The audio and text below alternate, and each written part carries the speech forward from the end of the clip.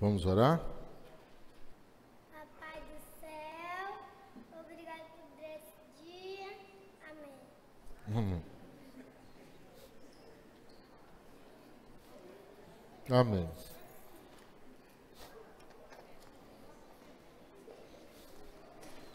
Ele tem um poder de síntese incrível, esse garoto, né? Sabe como resumir as coisas.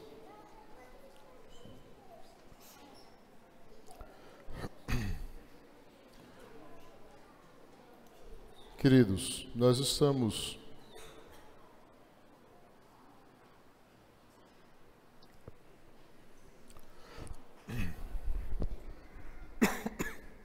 meditando sobre o tema Deus está aqui, ah, baseado num, numa série de estudos no livro dos Salmos. E hoje nós vamos meditar no Salmo de número 122. Diz o seguinte a palavra de Deus. Alegrei-me com os que me disseram: Vamos à casa do Senhor. Nossos pés já se encontram dentro de suas portas, ó Jerusalém. Jerusalém está construída como cidade fortemente estabelecida.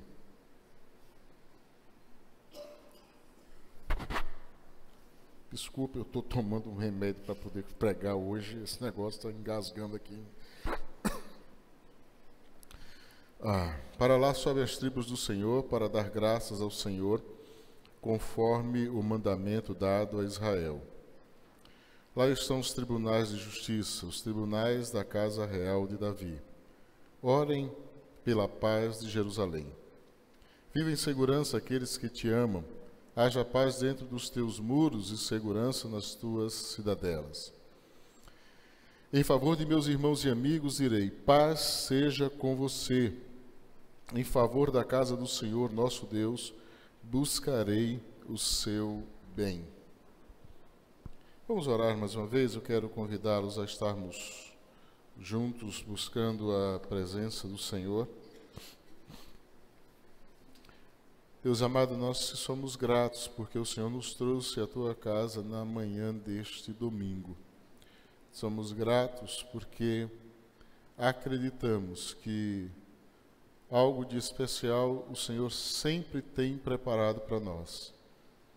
Nós não chegamos aqui simplesmente por causa de um rito ou por causa de cumprirmos determinados compromissos assumidos, mas nós acreditamos que este lugar o Senhor preparou para que juntos com o teu povo, igreja tua, estivéssemos adorando ao Senhor na plenitude da beleza da tua santidade. Ó Deus, recebe a nossa adoração. Fala mais uma vez conosco. Somos teus filhos e precisamos ouvir a tua voz. Somos filhos que se deleitam, Senhor, têm prazer em meditar na tua lei de dia e de noite, pois, Senhor, acreditamos que ela sim haverá de ser como um rio que vai, Senhor, fortalecer as nossas vidas, abençoar-nos e dar-nos, ó Pai, condições de vivermos neste mundo e não sermos destruídos pelas ondas, pelas tempestades, pelos ventos, pelas chuvas que a vida nos traz. Ó Deus, faz com que esta palavra seja de fato e a obediência a ela o alicerce firme, Senhor, da nossa existência na face da terra. No nome de Jesus, Senhor, e para a glória dele é que nós oramos. Amém. Queridos, eu gostaria de convidá-los a meditar nesse texto lembrando-os de algumas coisas que entendo de importância para a compreensão dessa passagem.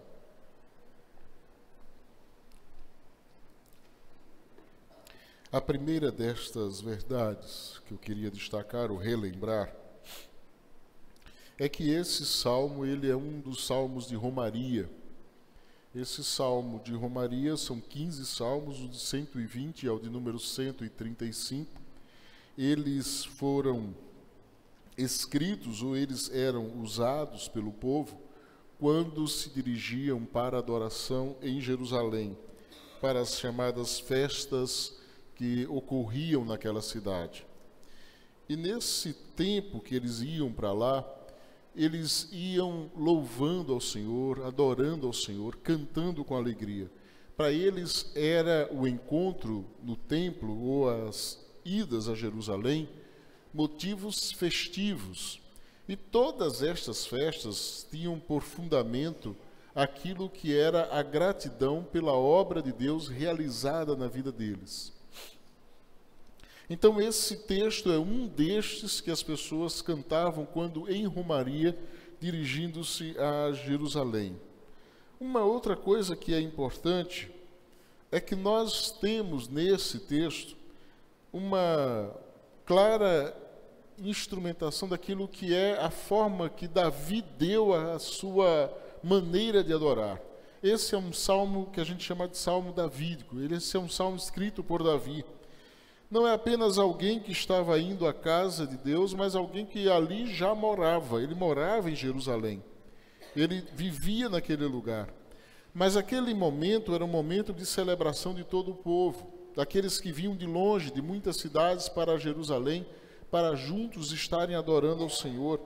E naqueles momentos que eles se reuniam para adorar a Deus, eles entendiam que aquele momento era um momento de festa, de alegria, de plenitude, porque eles tinham muitos e muitos motivos para renderem graças ao Senhor. E essas duas realidades, um salmo feito por Davi, um salmo que era usado para a romaria em direção à casa de Deus, leva-nos a entender um pouco daquilo que era os motivos pelos quais deveria ocorrer a adoração de maneira coletiva. Nós já falamos isso a semana passada, quero insistir novamente com isso. Havia uma preocupação de que a adoração não fosse apenas algo particular, mas fosse algo do povo, de toda uma nação, do povo de Deus. A adoração ela precisava ser o reconhecimento de todo o povo de Deus por aquilo que Deus estava fazendo ou havia realizado na vida deles.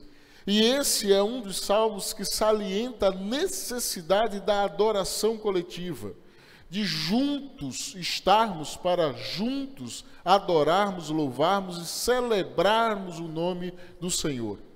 E aí eu gostaria de dividir esse momento em quatro partes desse salmo. Ele é dividido em quatro situações ou quatro, quatro momentos. Primeiro deles, que essa alegria da adoração a Deus, da adoração coletiva, ela não começa no lugar da adoração.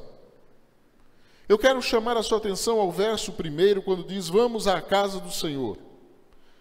E esse momento ele diz: Alegrei-me quando me disseram com aqueles que disseram, que me disseram: Vamos à casa do Senhor. A alegria, ela não aconteceu com a chegada à casa. A alegria ela já existia no coração do adorador quando só de ouvir falar que eles estavam dirigindo-se para o lugar da adoração. Ela não acontece a alegria quando se chega à adoração, ao lugar de adoração. A verdadeira adoração coletiva, ela é antes de mais nada uma expressão natural da adoração singular ou particular. Aqueles que não adoram de forma particular em pouco haverá de aproveitar os momentos da adoração coletiva. Quem não sente alegria por estar na presença de Deus, quando se reúne com o Senhor, quando adora o Senhor, quando devocionalmente busca a presença do Senhor na solidão do seu quarto, no lugar onde você reserva para adorar, dificilmente encontrará alegria de aqui estar Há um grande equívoco em achar que você se sentirá feliz chegando aqui, ou que esse momento haverá de ser significativo por ser aqui. A grande realidade desse texto, é que a grande verdade que ele quer apresentar, é que a adoração ela não começa no lugar reservado para adoração coletiva. Ela deve sim existir em todos os momentos da nossa vida. Esse momento é um momento de celebração e festa, mas a nossa adoração deve ser algo contínuo. Ela não começa quando chegamos ao lugar de culto, não começa quando chegamos à igreja. Ela deve ser o resultado direto da minha vida de devoção a Deus durante toda a existência daqueles que se dizem adoradores do Senhor. Eu, sinceramente, não acredito numa adoração coletiva que não é resultado de uma adoração pessoal. Eu não acredito que alguém tenha prazer, alguém tenha desejo de estar na presença de Deus no domingo, se durante todos os outros dias da semana ele não tem prazer em orar, ele não tem prazer em ler a Bíblia, ele não tem prazer em adorar ao Senhor. Não faz sentido você achar que terá prazer neste lugar e alegria, se essa alegria ela não invade a sua vida durante todos os outros dias da semana. Se você não tem prazer em estar com Deus, em adorar a Deus, em louvá-lo durante os momentos da sua vida devocional na sua casa, no lugar onde você está, eu não posso entender jamais que você sentirá alegria em aqui estar. Eu não consigo entender que alguém vai sentir prazer com a adoração, com a leitura bíblica, com a pregação, com o louvor, com as coisas que aqui acontecem, se você não sente prazer nisso quando você o faz na sua casa. Dificilmente essa adoração terá sentido aqui. Dificilmente ela terá para você resultados que possam impactar a sua vida. E assim nós entendemos que a adoração, ela deve começar na minha vida devocional e diária. Nós temos como definição daquilo que são valores, uma dessas definições é o relacionamento diário com Deus. A minha vida devocional, ela não pode ser baseada nas idas à igreja. A minha vida de adorador, ela não pode se restringir aos momentos de culto. Eu preciso ter uma vida de louvor a Deus, senão jamais viverei como verdadeiro adorador. E eu quero dizer a você que quando eu falo de vida de adoração fora daqui, eu não falo de grito de socorro em momentos de angústia. Eu sei que muita gente, no momento de desespero, grita: Deus, tem misericórdia de mim, me socorre, me ajuda, faça alguma coisa por mim. Eu não estou falando disso, eu estou falando em parar, eu estou falando em dedicar tempo, eu estou falando em você ter capacidade de, um momento do seu dia, separar para falar com Deus, buscar a sua orientação na palavra dele, ouvir a voz do Senhor e adorá-lo naquele momento. É vida de comunhão com Deus. Eu quero dizer que um dos grandes fracassos dos relacionamentos desse tempo não é a nossa incapacidade de nos relacionarmos com os outros. É que nós não entendemos ainda que relacionamento com o outro implica necessariamente em relacionamento com Deus. Se eu não tenho relacionamento com Deus, eu nunca vou conseguir construir um bom relacionamento com as pessoas. Porque Deus foi quem criou as pessoas. Ninguém melhor do que Ele sabe como eu devo me relacionar com o outro. E aí eu gosto de pensar na possibilidade de que a verdadeira adoração coletiva, em comunhão com os irmãos, ela começa naquilo que é a minha relação e na minha adoração particular diante do Senhor. E eu costumo também dizer que aqueles que não têm prazer na adoração coletiva, dificilmente estão tendo adoração particular. Eu tenho muita dificuldade em entender quem tem dificuldade de aqui chegar para adorar, tem a facilidade de reservar no seu dia, no seu lugar, de, de, em casa, na sua vida de trabalho e compromissos, tempo para adoração ao Senhor. Dificilmente alguém que não tem condições ou que não tem prazer em adorar coletivamente, tem prazer em adorar de forma pessoal. Dificilmente alguém que não tem prazer em adorar pessoalmente terá prazer em adorar de forma coletiva. As duas coisas sempre estarão ligadas. Adoração coletiva é resultado de devoção pessoal. Se não há devoção a Deus pessoalmente, dificilmente haverá adoração coletiva. Segunda coisa desse texto,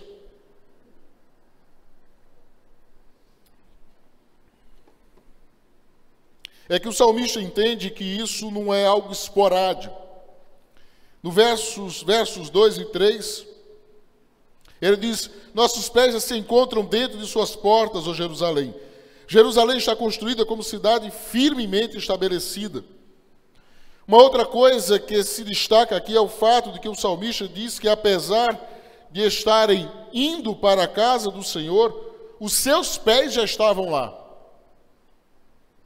Ele estava dizendo com isso de que, mesmo antes de chegar àquele lugar, ele, aquele lugar já pertencia. Aquilo era algo que fazia parte da sua vida. Não era um momento qualquer, era algo que ele entendia que fazia parte da sua vida. Não era alguma coisa esporádica que acontecia uma vez ou outra, mas era algo do qual ele fazia parte. Quando eu falo desse negócio de fazer parte, eu lembro de uma coisa que acontece muito comigo. Quando eu falo da casa dos meus pais, normalmente quando eu falo das casas, da casa dos meus pais, eu digo lá em casa, na minha casa. Eu nunca digo na casa dos meus pais. Eu sempre digo na minha casa, lá em casa.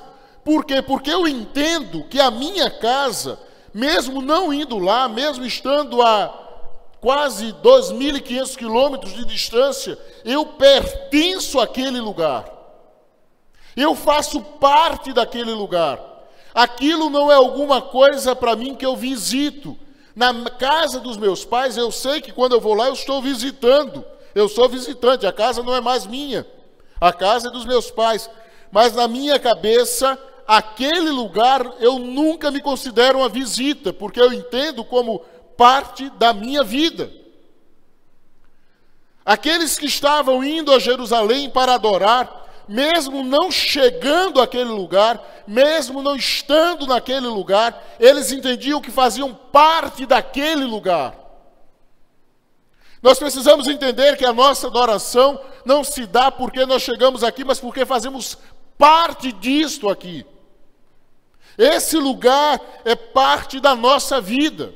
Esteja eu aqui ou não, esteja, esteja, estivessem eles em Jerusalém ou não, eles sabiam que aquele lugar demonstrava que eles faziam parte daquela realidade. Eles não precisavam chegar ao templo, eles sabiam que aquele lugar era a casa de Deus e que eles pertenciam àquele lugar. Nós precisamos entender que a nossa realidade espiritual, ela nos traz exatamente isso. Nós fazemos parte deste lugar, estando aqui ou não, vindo a esse lugar ou não, eu faço parte do povo de Deus. Chegando eu a este lugar por qualquer motivo ou não, eu faço parte do povo de Deus. Eu pertenço a essa realidade. Eu nunca haverei de me sentir um visitante. Eu nunca olharei para esse lugar como um lugar que eu vou esporadicamente, porque para mim ela faz parte da minha vida. A realidade do povo de Deus na adoração coletiva tem a sensação de que, independente do tempo, do momento, quando eu chego a este lugar, eu encontro com a minha família, eu sei que eu faço parte disso. É interessante, como pastor, a gente vai a muitos lugares, prega em outras igrejas, vai a outras cidades e lugares que eu amo de paixão, igrejas que eu me apaixonei verdadeiramente, achei maravilhoso tudo o que aconteceu ali. Mas eu sempre me sinto como se aquele lugar não fosse o meu. Eu acho que esse lugar aqui é o meu. Eu me sinto neste lugar como parte da minha vida. Esse lugar aqui é a minha casa, é a minha família. Eu quero dizer aos irmãos, quando eu chego a esta igreja, quando eu prego aqui, eu me sinto em casa. Eu posso falar da minha vida, das minhas dores, dos meus problemas, das minhas crises, das minhas dúvidas, porque eu sei que eu estou no meio da minha família, eu faço parte disso. Esse é o meu lugar. Uma outra coisa sobre adoração coletiva. Ela pressupõe unidade. Versos 4 e 5 fala exatamente sobre isso. Para lá sobem as tribos do Senhor para dar graças ao Senhor conforme o mandamento dado a Israel. Lá estão os tribunais de justiça, os tribunais da casa real de Davi. Ele coloca nesses dois versos a ideia de que a centralidade daquele lugar, por que reunir-se naquele lugar, por que dirigirem-se todas as tribos a Jerusalém, por que simplesmente não ficarem cada um no seu lugar, na sua cidade. Havia a ideia da unidade. Eles precisavam ser lembrados de que eles eram um só povo. Eles faziam parte de uma mesma nação. Eles precisavam se dirigir àquele lugar porque eles precisavam entender que eles eram uma só nação e deveriam estar ali. Aqueles momentos de celebração coletiva, quando todos se reuniam, demonstravam a unidade do povo de Deus. O culto coletivo, ele tem essa responsabilidade de testemunhar da unidade do povo de Deus. E é bom a gente saber de que quando vamos à igreja, quando chegamos a este lugar de adoração, esse é o momento de unidade. Não adianta você vir aqui querer fazer uma adoração particular. Na hora que alguém está cantando, você está querendo ler a Bíblia. Na hora que alguém está lendo a Bíblia, você está querendo fazer solo. Na hora que alguém está orando, você está querendo ficar de pé e pregar. Então não adianta, porque existe a ideia da unidade da visão de que todos se unem na busca de um mesmo objetivo. É interessante quando a gente olha para isso na vida de ministério. A gente passa por situações bem estranhas. Eu fui pastor numa igreja, numa igreja antes dessa, só fui pastor em duas igrejas, Cidade Evangélica dos Órfãos e esta. Quando eu lá pastoreava, existia uma irmãzinha com seus noventa e poucos anos de idade. Ela fazia questão de ir à igreja todos os domingos. E o interessante é que essa irmã tinha um sério problema auditivo, ela não mais escutava. E além disso, ela tinha uma grande deficiência visual, tanto é que ela não enxergava quase nada mais. Alguém tinha que sempre levá-la para a igreja e conduzir, depois levar de volta para casa mas ela fazia questão absoluta de estar na igreja. E era um momento muito interessante, porque todo culto ela tinha que orar, mas ela não escolhia o momento da oração. Então alguém estava pregando, ela levantava e começava a orar. Mas só que ela orava alto porque ela era surda, ela não escutava, então ela orava muito alto para que pudesse ela mesma escutar ela orando. Alguém estava cantando, ela ficava de pé e orava, não importava o que estava acontecendo. A igreja aprendeu a conviver com ela com tranquilidade, ninguém reclamava mais disso. Mas demonstrava que aquilo causava como que um incômodo, porque o que estava sendo dirigido era quebrado com aquele momento. Muitas vezes, na hora da mensagem, estava pregando nessa animação de sempre, ela ficava de pé e começava a orar. Eu tinha que parar a mensagem, terminar a oração da irmã e continuar a mensagem depois. Mas ela fazia isso porque ela não estava enxergando mais, não sabia o que acontecia, não ouvia. E por isso ela achava que tinha que orar naquele momento que ali estava, porque ela sempre tinha feito isso durante toda a sua vida. Muitas vezes nós não entendemos que a unidade da igreja na adoração é essencial para mostrar a força do povo de Deus. Nós estamos perdendo espaço para muitas ações demoníacas que dominam a cidade, a nossa realidade, a nossa sociedade, porque estamos nos dividindo. Existem dois autores desses programas e novelas que dominam a, as nossas televisões, eles dizem exatamente isso. Uma das autoras de uma novela que está em curso falando sobre aquilo que seria a reação dos grupos tidos como conservadores, os evangélicos. Ela disse: Olha, eu não tenho medo deles, porque eles não conseguem nem se unir entre eles, quanto mais combater alguma coisa.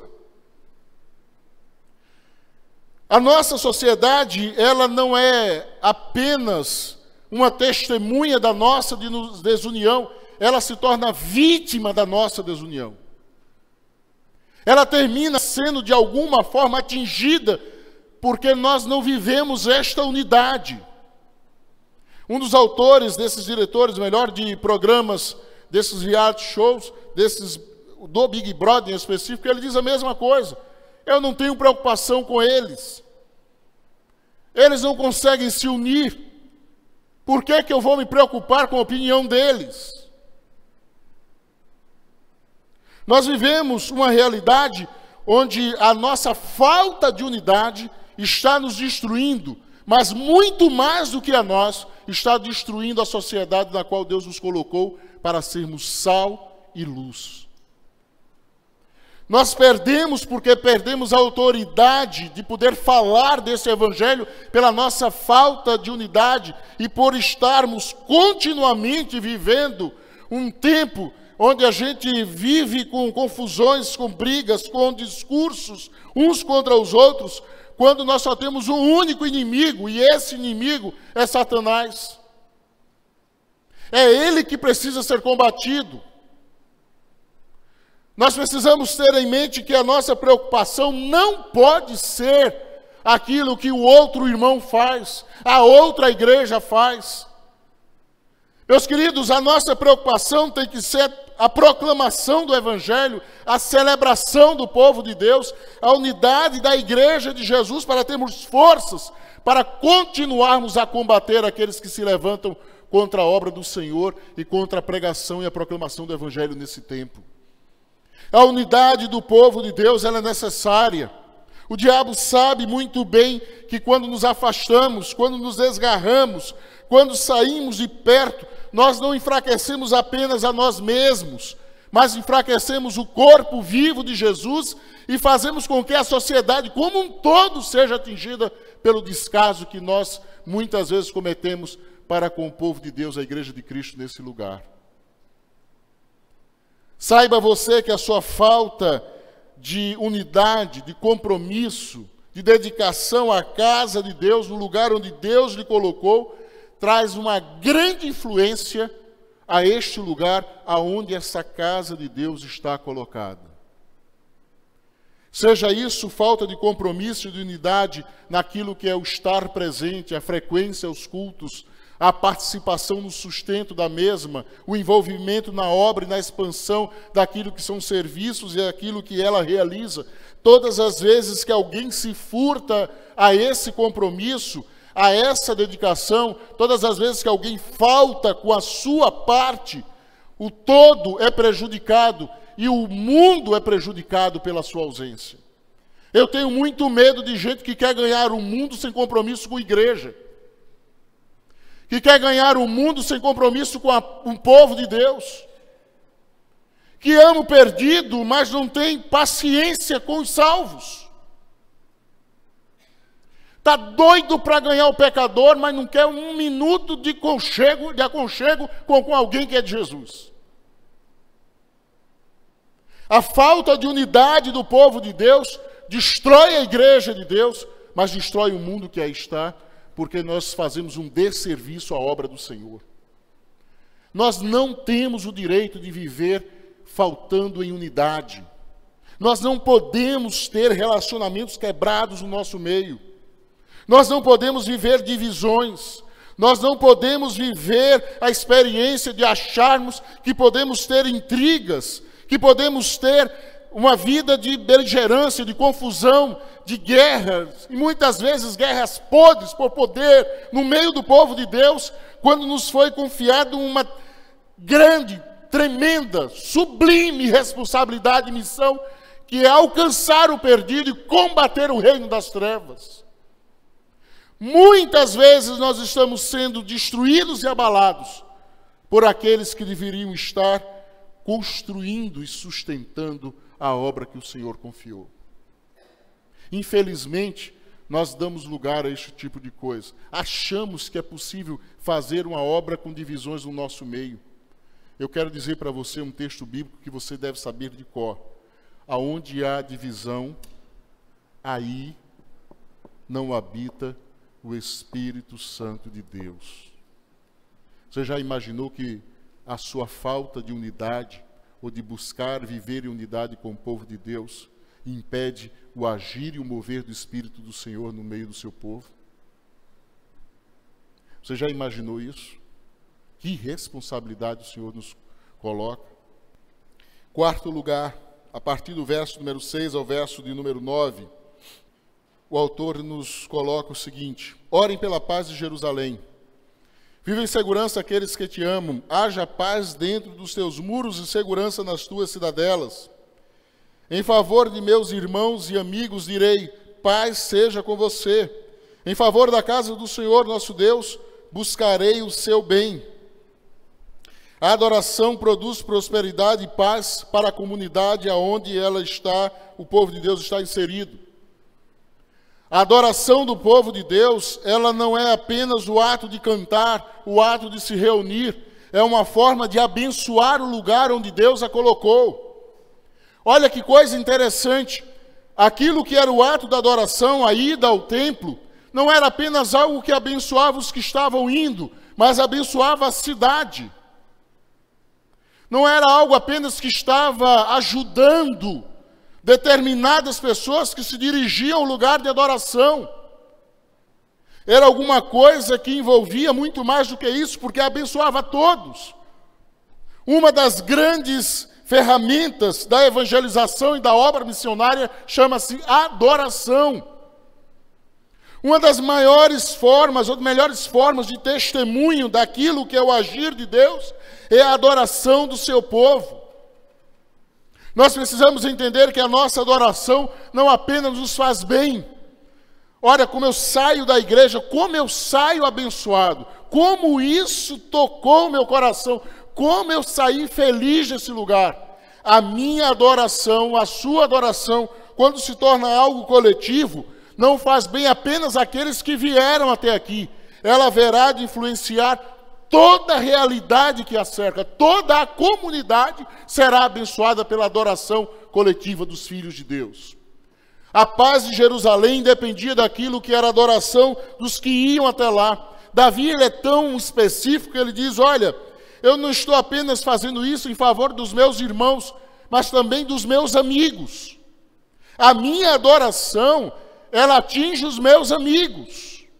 Mas como assim eu estou indo à igreja, eles não estão comigo? Ah, o meu ato de adorar, ele vai impactar a vida das pessoas que estão à minha volta, da comunidade onde a igreja está localizada.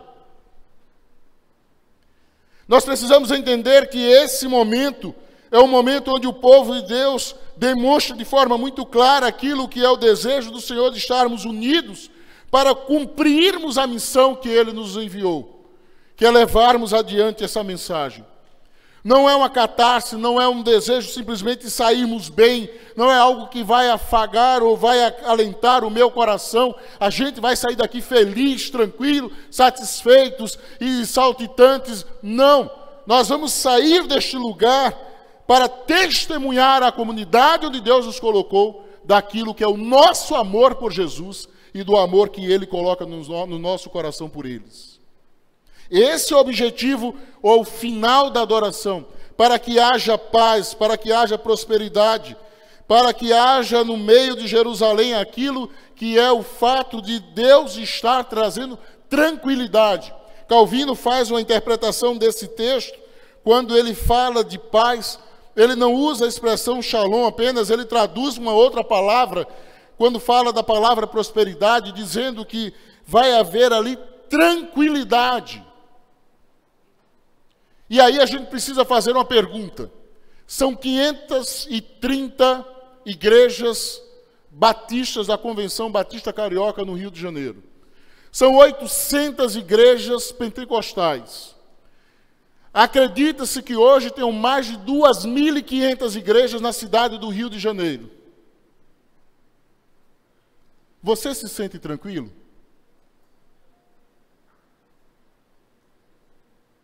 Tem alguma coisa de errado nessa conta. Alguma coisa está faltando nessa matemática divina. Ou nós não estamos adorando como deveríamos, ou nós ainda não entendemos qual é o papel do verdadeiro adorador. Ou nós ainda não entendemos qual o preço que precisamos pagar para que essa obra aconteça. Ou nós não percebemos ainda que a falta de paz, diz lá no verso de número 9, que essa falta de paz, ela vai de alguma forma atrapalhar aquilo que é o favor da casa do Senhor. Nós acreditamos que talvez os que estão fora da igreja serão prejudicados porque eles não ouvem a mensagem, não vêm adorar, não conhecem da palavra. Mas todos nós estamos sendo prejudicados por não vivermos a adoração que Deus espera de nós. A nossa adoração ela tem que trazer paz e prosperidade à cidade onde o Senhor nos colocou.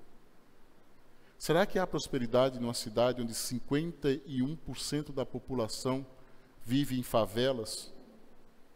Será que essa é uma cidade próspera? Será que esse evangelho está se dando o direito de continuar com a miséria em vez de transformá-la? Irmãos, precisamos voltar ao papel que Deus nos confiou de sermos verdadeiros adoradores do Senhor. E entender que o nosso papel como igreja de Jesus é muito mais do que sairmos bem de um culto, mas é impactarmos o mundo com a esperança que Deus tem colocado no nosso coração. Mas eu gostaria de deixar isso como sempre de uma maneira prática. Eu fui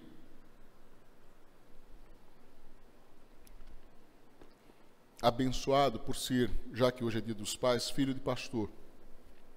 Diz que filho de pastor é uma coisa muito ruim para muita gente aí. Para mim foi bênção pura. Não tem nada a reclamar. Até agradeço muito a Deus pelos os muitos diáconos que Deus colocou na igreja que viviam atrás de mim para que eu não fizesse coisa errada, me vigiando o tempo todo. Dou graças a Deus pela vida deles. Que bom que eles me vigiaram, senão eu tinha feito muita coisa besta pela na história da minha vida. Mas eles ficavam ali atrás de mim, me vigiando para que o filho do pastor não fizesse nada de errado. E tinham um, uma estrutura de comunicação muito eficaz na igreja, uma rádio chamada Rádio Corredor. Qualquer coisa que eu fiz, fazia de errado chegava ao ouvido do meu pai em poucos segundos. A informação chegava lá e a resposta dele chegava em mim. Normalmente não era a resposta que eu esperava, mas ela chegava. Mas eu agradeço a Deus por essa experiência. Mas tem umas experiências muito interessantes. Uma delas, uma cidadezinha chamada de Rainha Isabel. É uma cidade do interior do estado da, das Alagoas. E Rainha Isabel fica estranho, porque nunca foi Isabel Rainha, sempre foi princesa, mas ela era chamada cidade de Rainha Isabel. E eu lembro que uma certa feita nós estávamos em casa, um sábado de manhã, dia de feira, e chegou um homem bem alto, chapéu na cabeça, parou o cavalo na frente da porta da igreja, nós morávamos na igreja, e aí disse: Olha, eu soube que aqui mora o, o pastor que fala na rádio. Aí eu disse: É, é verdade. Você poderia chamar ele para mim? Posso, tinha uns sete anos, mais ou menos, sete para oito anos. Fui lá dentro, cheguei, meu pai disse, olha, tem um homem estranho lá fora, dizendo que quer falar com o senhor. Aí meu pai foi lá, recebeu o senhor, colocou para dentro de casa, conversaram um pouco, e ele se apresentou dizendo que fazia parte de uma comunidade, que estava todos os dias às seis horas da manhã ouvindo o programa de rádio que a igreja tinha, programa de cinco minutos, e eles escutavam ali, e aí eles ficavam ouvindo aquele programa. E aí passaram os irmãos dos Gideões e distribuíram nas escolas os, os Novos Testamentos.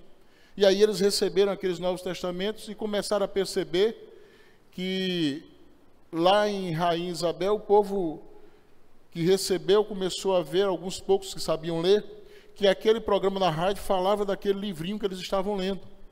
E aí eles começaram a ler o livrinho, estudar o livrinho e ficaram lendo o livrinho. Mas aí começaram a surgir algumas dúvidas e disseram, vamos chamar o homem da rádio, já que ele fala, né?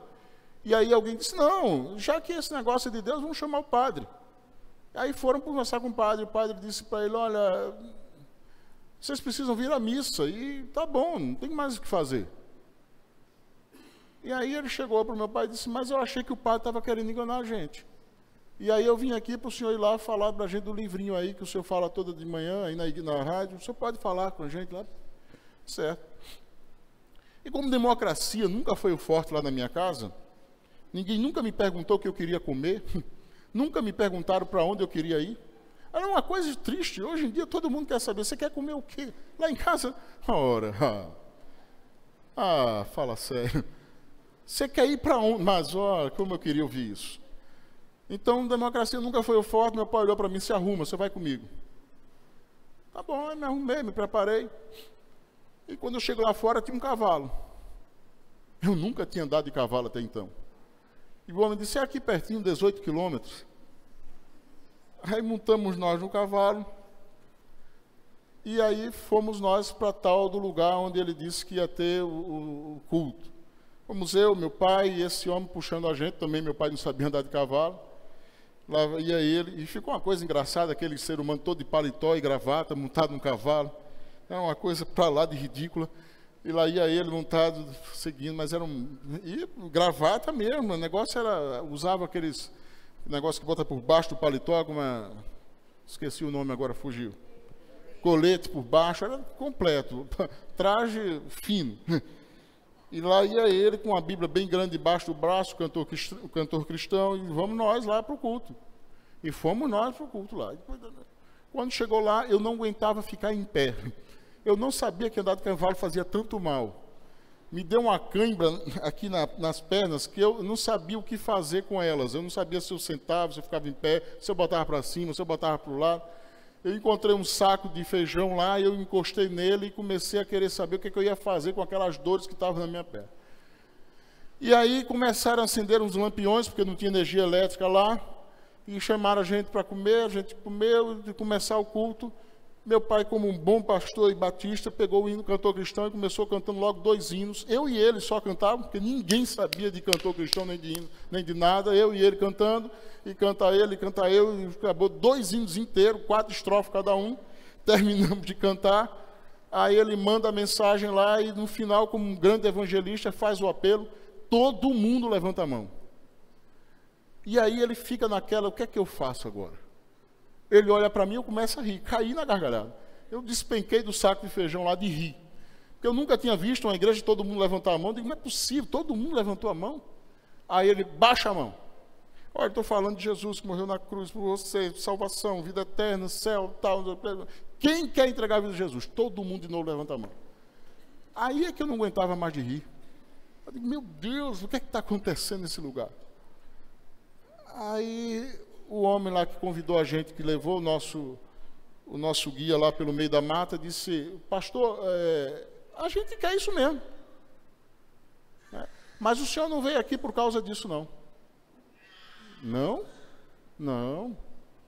A gente quer que o senhor responda as perguntas para a gente. E pergunta. É sobre esse livrinho aqui. Aí pegou o livrinho, o Novo Testamento, e começou. Aqui tem um tal de gerou não sei quem, gerou não sei quem, gerou não sei quem. O que, que é isso? Aí eu percebi que todos os livrinhos lá no meio da congregação tinha um monte de papelzinho. Aí eles puxavam o papelzinho e faziam outra pergunta. Eu digo, meu Deus, isso vai acabar hoje. E aí foi, foi, foi. Quando deu quatro horas da manhã, meu pai me acorda, que eu já estava dormindo fazia tempo. Ele completamente rouco, vamos embora. Eu digo, vamos embora. E o impressionante é que essa igreja, eles tinham um prazer enorme com esse negócio de Bíblia. Eu lembro que um dia a gente foi para lá e foi uma caravana enorme da igreja para fazer o culto e tal. Chegamos lá todos animados, felizes da vida. E aí todo mundo, aonde vai ser o culto? Onde vai ser o culto? A gente achava que ia ser na praça pública. Aí o irmão disse: Não, hoje o culto vai ser no salão do reino. Aonde, irmão? No salão do reino. Como assim no salão do reino? Salão do reino. Irmão, que negócio é esse salão do reino que você está falando? Como é isso? O salão do reino deve testemunho de Jeová, pastor. Mas, irmão, não era bom a gente fazer o culto aqui do lado da gente, assim, no lugar só nós mesmo? Não, vamos fazer lá dentro. Lá na Bíblia não está escrito que os, os discípulos iam para a sinagoga dos judeus para evangelizar lá? Então a gente vai para lá. E entrou aquele mundo de gente dentro do salão do reino, que era um negócio desse tamanho, não cabia ninguém, a igreja quase toda entrou lá para fazer o culto. Eu acho que eu nunca vi um lugar para se converter tanto testemunho de Jeová quanto naquele dia. Mas uma coisa impressionante foi que mudou a realidade daquele lugar. O Evangelho mudou a realidade de um povo. A igreja chegou ali alicerçada na palavra, e aquele povo começou a ser transformado. Aquilo que não acontecia ali, as coisas que não chegavam àquele lugar, a prosperidade que não acontecia, começou a chegar. Vidas foram sendo transformadas e o lugar foi transformado. Porque a igreja de Deus se estabeleceu naquele lugar. Quando eu comecei minha vida de ministério como seminarista, eu fui para um lugar chamado Paudalho. E aí eu ia nas casas, as casas ficavam a 500 metros, um quilômetro de distância uma da outra. E eu começava a ir, juntava todo mundo para ir aos cultos e fazia visita para as pessoas irem até lá. Mas havia uma coisa de especial naquele lugar. Todas as casas que eram limpas, arrumadas, construídas de alvenaria, bem feitas, eram as casas dos crentes. Mas todas elas. Quando você via um barraco quase caindo, pode ter certeza que ali estava alguém completamente dominado pelo álcool.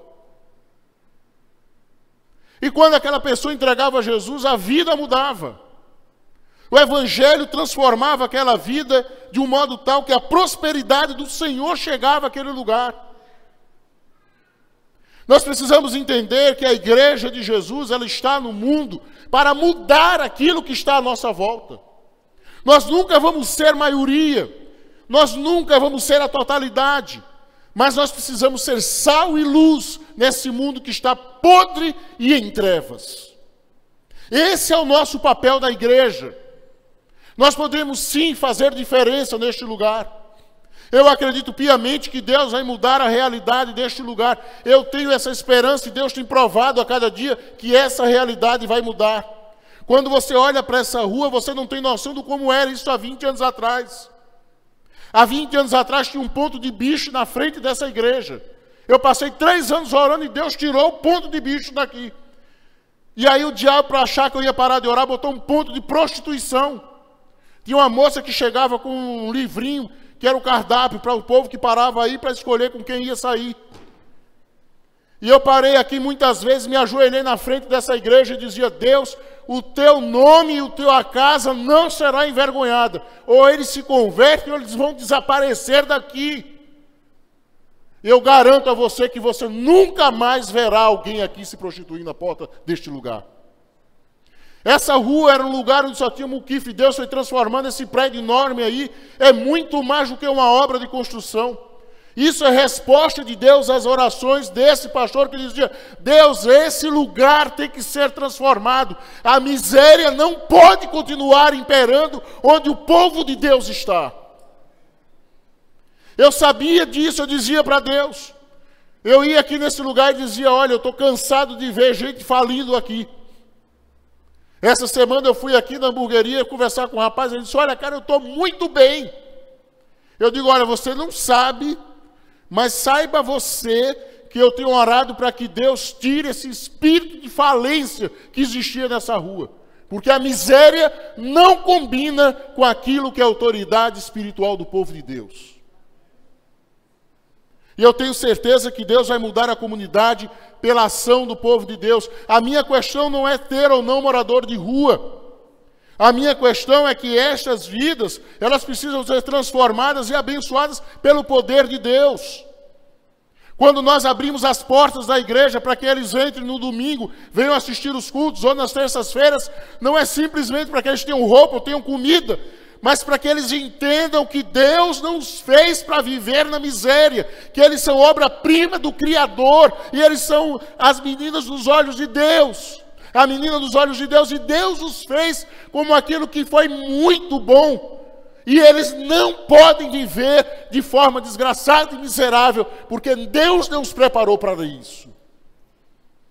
A igreja de Jesus, ela tem que ser um referencial, dizer, olha, chega miséria. Porque o poder de Deus vai se manifestar nesse lugar e vidas serão transformadas. Nós não podemos achar que isso é algo que vai nos trazer conforto. O Evangelho não é alguma coisa que vai apenas nos abençoar. Não há como você estar cheio de Deus e aqueles que estão na sua volta não serem abençoados e prósperos a partir da interferência do Senhor. Nós precisamos entender que Deus nos colocou aqui para fazer diferença. O mundo tem que ser diferente, é a nossa comunidade. A minha preocupação, meu querido, é que você saiba disso. Olha, Deus lhe colocou perto de um lugar para que você frequente, para que você venha, para que você interceda, para que você conheça pessoas, faça relacionamentos, para que esta comunidade seja completamente impactada pelo poder de Deus. E esse lugar seja transformado pela ação do Senhor. Eu tenho orado a Deus para que cada bairro, cada rua, melhor, deste bairro tenha um lugar onde as pessoas adorem ao Senhor. Eu tenho clamado a Deus para que cada prédio desta comunidade tenha uma célula, tenha um pequeno grupo adorando a Deus durante a semana, para que a bênção do Senhor se espalhe e vidas sejam transformadas. Eu sei que Deus vai agir nesse lugar e Ele vai fazer essa obra para a glória do nome dEle. Queridos, quando eu falo de igreja, eu falo da minha paixão. Eu sou apaixonado por igreja. Então, se eu demorar mais, os irmãos vão ter que ter paciência hoje. Hein? Agora, existe uma questão que me chama muita atenção. Há uma guerra contra a adoração coletiva. Já perceberam isso? O que se fala do fato, mal do fato de ir à igreja? Normalmente quem fala mal de igreja não vai a ela. Quem mais fala mal de igreja é quem não frequenta. Quem mais reclama do povo de Deus é quem não está com ele. Eu nunca vi tanta gente que fala daquilo que não sabe nem vive. Então eu quero dizer para você o seguinte: olha, por que isso é preciso? Porque é necessário que a gente se una, porque é necessário que a gente se congregue, estejamos unidos, tenhamos uma visão única, uma missão única para cumprir nesse mundo primeiro lugar, a questão é bíblica. Eu quero ser extremamente é, repetitivo naquilo que é a informação bíblica sobre o fato. Eu quero, de alguma forma, exagerar na aplicação disso. Eu quero ler alguns textos, vamos a algumas passagens bíblicas. Salmo 27, verso 4. Uma coisa pedi ao Senhor e a procuro que eu possa viver na casa do Senhor todos os dias da minha vida, para contemplar a bondade do Senhor e buscar a sua orientação no seu templo. Salmo 23, verso 6: Sei que a bondade e a fidelidade me acompanharão todos os dias da minha vida, e voltarei à casa do Senhor enquanto eu viver. Salmo 69, verso 9: Pois o zelo da tua casa me consome, e os insultos daqueles que te insultam caem sobre mim. Salmo 65, verso 4. Como são felizes aqueles que escolhes e trazes a ti para que vivam nos teus atos. Transbordamos de bênçãos na tua casa, do teu santo templo. Salmo 26, verso 8. Eu amo, Senhor, o lugar da tua habitação, onde a tua glória habita. E aí, Novo Testamento, para aqueles que acham que só é coisa do antigo. Atos 2, 46 e 47, todos os dias a igreja continuava a reunir-se no pátio do templo, partiam o pão em casa e juntos participavam das refeições com alegria e sinceridade de coração, louvando a Deus e tendo a simpatia de todo o povo. E o Senhor lhes acrescentava diariamente os que iam sendo salvos. Hebreus 10, 24 e 25. E consideremos uns aos outros para nos incentivarmos ao amor e às boas obras. Não deixemos de nos reunir como igreja, segundo o costume de alguns, mas procuremos encorajar-nos uns aos outros, ainda mais quando vocês veem que se aproxima o dia. Ora, se isso não é suficiente para que você entenda a necessidade de estar no templo, eu não sei mais o que você precisa. Se todos esses textos não são suficientes para que você entenda que essa é a vontade de Deus para a sua vida, eu não sei mais o que é que você precisa. Mas eu vou continuar usando outras coisas. Eu quero usar o exemplo de uma senhora chamada Pat Palau. Pat ela é esposa de um dos grandes evangelistas chamado Luiz Palau. Ela escreveu um livro, O que fazer quando não queremos ir à igreja. E esse livro é um, uma coletânea de testemunhos de pessoas que cresceram, viveram, tiveram na igreja, se afastaram. Ela fez uma coletânea de testemunhos, é um livro de depoimentos. Mas ela fala do seu depoimento, como ela colocou para a sua família a importância de estar na igreja. E ela diz o seguinte: ela colocou dez tópicos. Primeiro, é importante para Deus que frequentemos a igreja. Diz ela: Jesus aos sábados e à sinagoga, se existe alguém que tinha bons motivos para não estar ali, era ele. Mas ele foi para instruir, para ser uma bênção e dar exemplo daquilo que deveríamos fazer. Segundo, vai à igreja para celebrar Jesus. Diz ela, expliquei isso no domingo de manhã, quando seus filhos choravam no banco de trás do carro, reclamando de terem que ir à igreja porque hoje é o dia que nos lembramos da ressurreição de Cristo e não acho que seja pedir muito dedicar apenas parte de um dia da semana para adoração ao Senhor. Vou à igreja porque ela é importante para mim, é importante para a minha família que me observa. Isso não quer dizer que todas as vezes que saio dali digo, nossa, foi fabuloso. No entanto, sempre fico contente por ter ido. Esse é o meu lugar, já recebi muitas bênçãos ali. É importante ir à igreja porque lá estou na companhia de pessoas que compartilham da mesma jornada espiritual que estou trilhando e nos ajudamos mutuamente. Orava para que meus filhos crescessem, se casassem e estivessem firmes na igreja. Ajudaram quando eles precisaram de apoio, quando se afastaram, estiveram intercedendo por eles para que eles voltassem. É importante para a comunidade que eu vá à igreja. As pessoas veem a igreja como um lugar onde podem ir e receber apoio e encorajamento. Todo mundo vai à igreja quando acontece uma tragédia. É importante para a comunidade que exista uma igreja. No dia 11 de setembro, de, quando houve a, a, derram, a destruição das Torres Gêmeas, as igrejas lotaram em Nova York. Algumas igrejas tiveram que fazer sete cultos. As pessoas estavam completamente perdidas e precisavam de apoio. É importante para a minha saúde que eu descanso no domingo, nós esquecemos disso. Quando era criança, as pessoas não faziam nada que lembrasse trabalho no domingo. É interessante isso, irmãos, porque eu já apanhei, porque eu não fiz os exercícios da escola no sábado e deixei para fazer no domingo.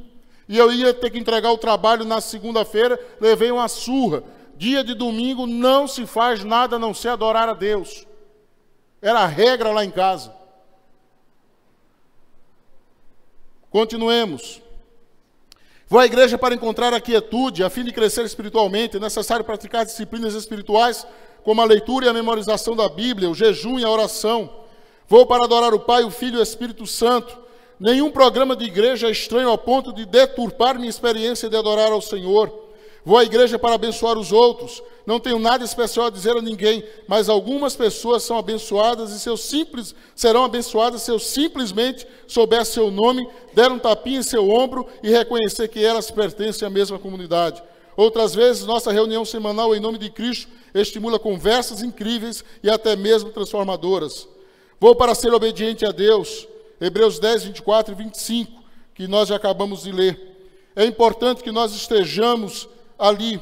E ela diz uma última coisa que eu quero compartilhar com vocês. Ela fala de um autor que ela não sabe quem era e ela relata: tudo que é preciso saber sobre igreja aprendi com a arca de Noé.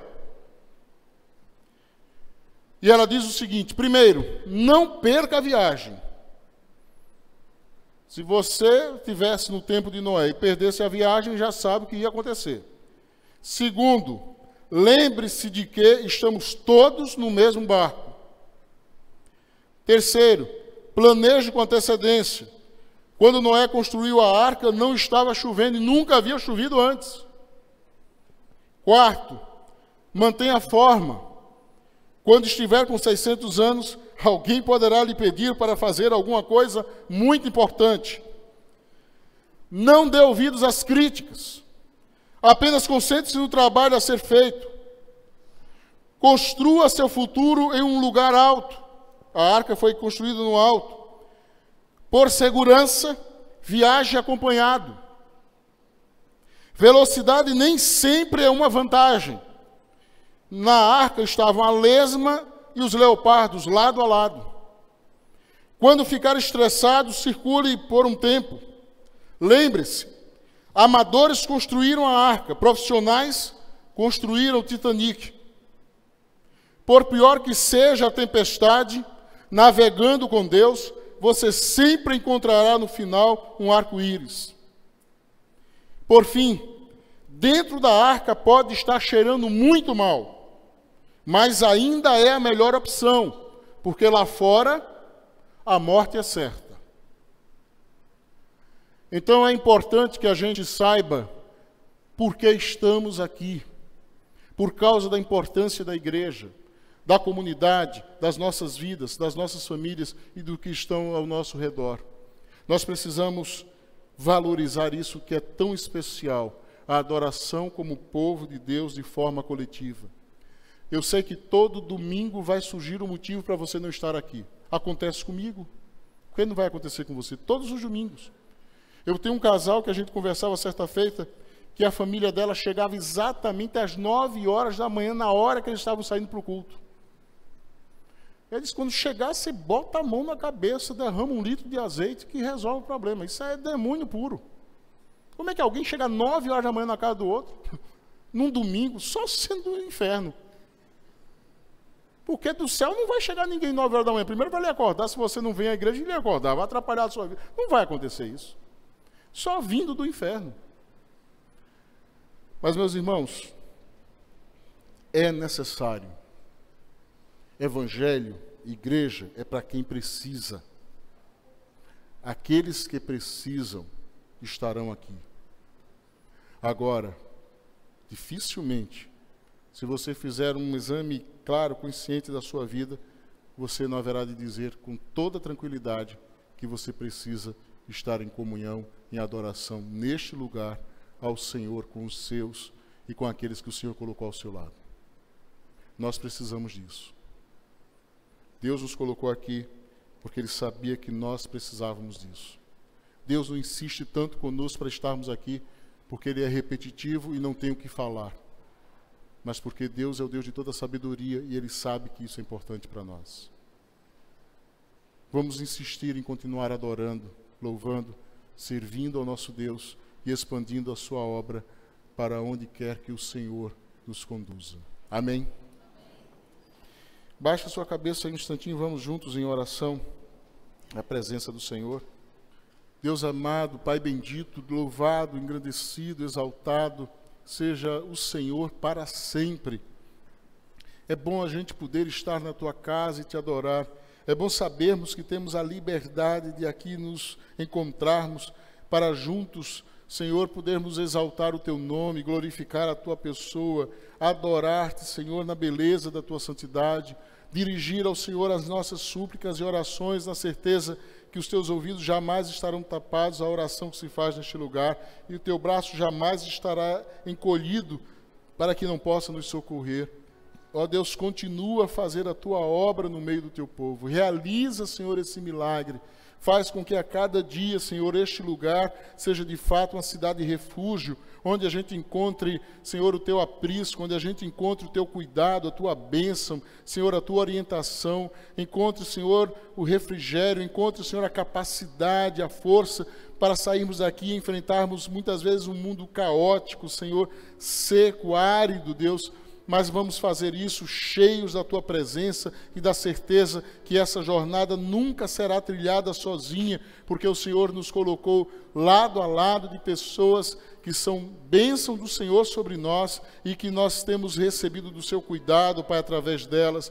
Ó Deus, e que nós estejamos sendo bênção na vida de outros, que vidas sejam abençoadas por nós, que cada encontro, Senhor, neste lugar seja transformador, impactante, Deus. Que muitas e muitas pessoas possam saber, ó Deus, que a vinda a este lugar não é tão somente o cumprir de um ato religioso, mas de fato é uma grande festa e celebração dos teus filhos, como teu povo, unidos, reunidos, Senhor, na tua presença, para exaltar e glorificar o nome de Jesus. Ó Deus, muito obrigado porque o Senhor continua fazendo infinitamente mais do que aquilo que muitas vezes nós pensamos, imaginamos, mas nós acreditamos, ó Deus, que tudo isso é para o louvor, para a honra e para a glória do nome de Jesus. Pois é neste nome, Senhor, e por este nome, e para a glória deste nome que nós oramos a Ti.